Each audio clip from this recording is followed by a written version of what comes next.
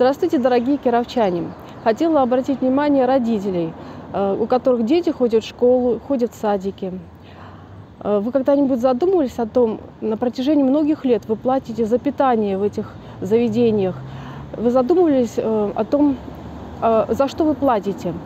Если посмотреть на документы на сайтах госзакупок, то получается, что вы платили не за питание детей, а это было просто добровольное пожертвование. А сейчас нужно поступать как грамотные люди. Э, зайдите, пожалуйста, на, э, на сайт госзакупки, введите ИНН заведение э, школы, заведение того, куда ходит ваш ребенок. И, то есть надо найти ИНН вашей школы, садика. Введите эту строку в госзакупках, и вы увидите, что все это оплачено государством. Также это э, то же самое касается и музыкальных школ, и других всех кружков, которые посещают ваши дети. Будьте, обратите внимание, пожалуйста, позаботьтесь о своих детях, посмотрите, что происходит. Я все.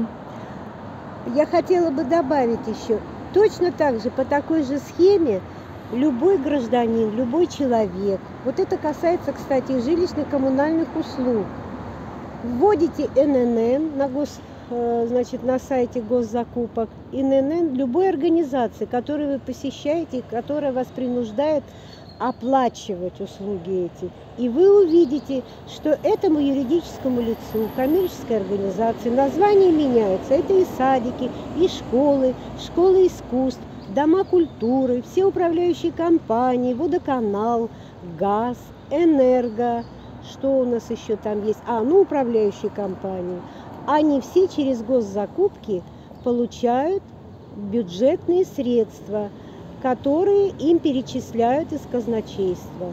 Проверяйте это, не стесняйтесь. Мы не можем давать всем шаблоны. Проведите самостоятельно эту работу, распечатайте эти документы и приносите им на стол ко всем, кто требует с вас деньги. Благодарю.